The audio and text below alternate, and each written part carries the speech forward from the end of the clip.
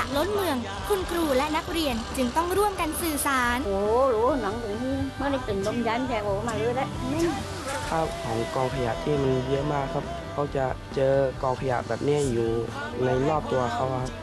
สองมือสองกลุ่ม บอกเล่าเรื่องราวที่เกิดขึ้นในชุมชน ผ่านหนังสั้นเรียบง่าย